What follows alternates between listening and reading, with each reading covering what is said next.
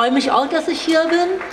Ähm, ja, ich wohne schon seit über 30 Jahren in Kreuzberg in der Nähe von der Markthalle 9, die auch an viel Elend schuld ist, meiner Meinung nach, an Touristifizierung, Ballermannisierung, Gentrifizierung, Cupcakeifizierung. Das erleben wir alles auch in unserer Nachbarschaft. Und als ehemalige Buchhändlerin will ich natürlich Kisch und Co. auch nochmal extra unterstützen.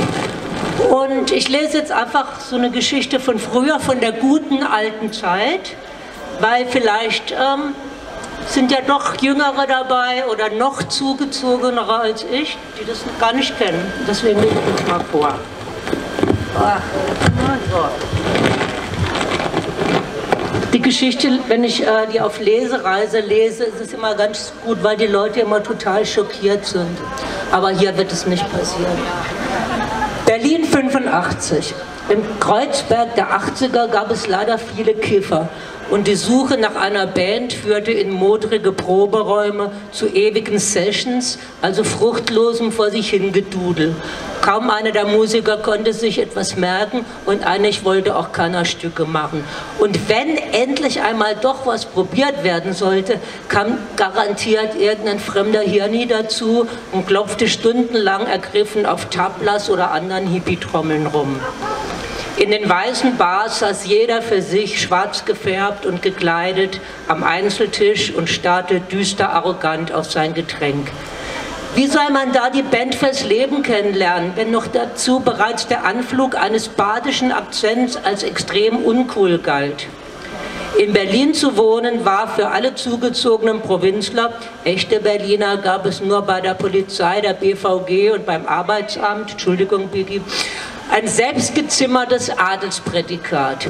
Grundsätzlich verdoppelte man die Berlin-Jahre, um besser dazustehen. Ein Weihnachten fuhr man etwa nicht nach Karlsruhe oder nach Hause, sondern in einem Nebensatz, etwas verächtlich hingenuschelt, fahr nach Westdeutschland. Das Leben, das Leben spielte sich in der Kreuzberger Oranienstraße und Wiener Straße ab. Manche rühmten sich damit, nie über den Kotti hinauszukommen. Besonders phlegmatische Kiffernaturen schafften es selten auf die andere Seite der Hochbahn, die das alte SO 36 brutal zerschnitt. Sie kamen nie über den Heinrichplatz hinaus und kannten die Welt links der Hochbahn, das Madonna, das Wiener Blut und Intertank nur vom Hörensagen. Die Unternehmungslustigeren verbrachten die Nächte in Schöneberg, wo die berühmten Underground-Berliner Blixer Bargeld und Nick Cave im Risiko und im Ex waren. Ganz lange Nächte endeten in der Disco Chez Konrad am hinteren Ende des Kurfürstendamms. In Kreuzberg kam man nicht weit. Kreuzberg war überall begrenzt, endete immer überall. Entweder am Kanal oder an der Mauer. Der äußerste verlorenste Zipfel Kreuzberg war der Platz vor der Oberbaumbrücke, hinter der U-Bahn-Endstation Schlesisches Tor. Ein beliebter Ort für die Spaziergänge junger Melancholikerinnen.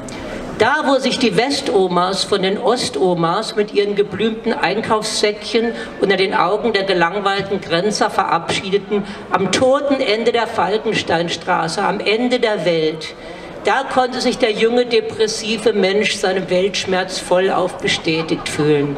Spiegelte doch die Stadtlandschaft die Sinnlosigkeit der eigenen Existenz perfekt wider. Auch die Eisenbahnschienen auf dem Wüstenareal des Görlitzer Bahnhofs wiesen ins Nichts.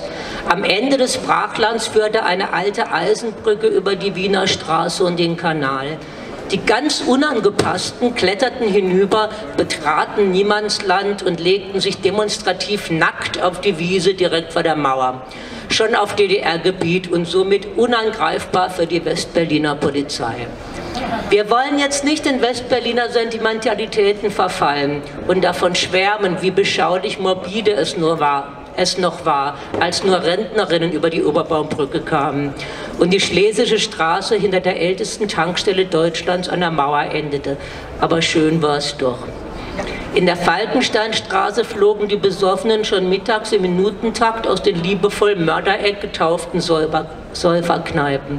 Und gerade im Sommer kam ein fast mediterranes Lebensgefühl auf, wenn sich benachbarte Alkoholikerinnen aus den Fenstern ein liebevolles Hals-Maul, du blöde Fotze zuriefen. Es war hart in Berlin, aber auch sehr schön. Alles war grau, verraucht und kaputt. Die Häuser hatten Einschusslöcher, in fast jeder Straße lag ein Grundstück brach, fehlte ein Haus. Überall war Verfall und Ruin. Und das herausgeputzte, saubere Deutschland war ganz weit weg. Das Schönste aber war, sich nicht mehr als, Au als Außenseiterin zu fühlen. Normale Berliner lebten in Tempelhof, in Zehlendorf oder Friedenau. In Kreuzberg schienen alle Außenseiter zu sein. Die Bundeswehrflüchtlinge, die Türken, Türkinnen, die Musikerinnen und Künstler, die Schwulen und Lesben, die Alkoholiker, selbst die zugezogenen Studenten aus guten Verhältnissen. Der Anschluss an die Ausgehgesellschaft, der Versuch, Nachtleben, Studium, Job und Kind in einem tollen Alltag zusammenzubringen, gestaltete sich problematisch. Es lohnte sich, aber es war echt anstrengend. Zumal, wenn man sich am Morgen nach einer im Ex- und Pop verbrachten Nacht die sauertöpfischen Vorhaltungen des Elterninitiativkinderladenplenums anhören musste, weil man den blöden Blagen der ökologisch orientierten und in alternativen Zusammenhängen arbeitenden Eltern schon wieder nur verkochte Spaghetti statt hochwertige Gemüse-Vollkorngerichte vorgesetzt hatte. In der Woche saß man stundenlang in der U-Bahn zur FU in Dahlem um dann innerlich und äußerlich desorientiert in den überheizten Labyrinthen der Rostlaube, wo der Fachbereich der Germanistik untergebracht war, herumzuirren. Kennenlernen wollte man da keinen, weil einen die Trauerumflorten, Drogen- und Künstlergestalten aus dem Nachtleben sowieso mehr interessierten als die farblosen Oberschichtskinder aus dem Literaturwissenschaftsseminar.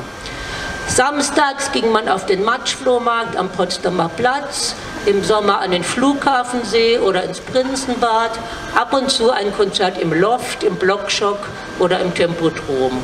Die Bands aus Kreuzberg hießen Strange Man, Lolitas und Jingo de Lunch und alle waren gemütlich aufgehoben in ihrer Szene. Und keine sucht, keiner suchte eine Sängerin. Also der Witz ist, ich wollte, bin ja nach Berlin gekommen, weil ich Sängerin werden wollte und keiner hat sich für mich interessiert. Keiner suchte eine Sängerin, die neu in Berlin und keine Amerikanerin war. Ich weiß nicht warum, aber Amerikanerinnen waren damals das Größte irgendwie. Dabei sind die Kulturleistungen der Schwaben und Badener in Berlin unübersehbar. Die Hausbesetzerbewegung der frühen 80er Jahre wäre zum Beispiel ohne die schwäbischen Tugenden Fleiß, Durchhaltevermögen und Sparsamkeit, scharfe, scharfe Häuslebauer, niemals zur Instandbesetzungsbewegung geworden.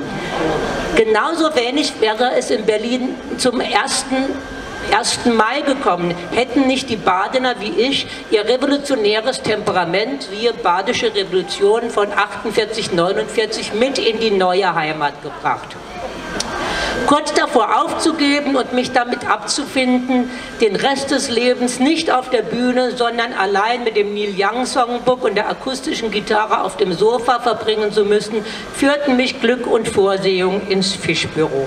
Das ist dann aber eine andere Geschichte. Vielen Dank. Danke. Und jetzt freue ich mich sehr auf die wunderbare Lisa Basorsch und die Bassisten Andreas.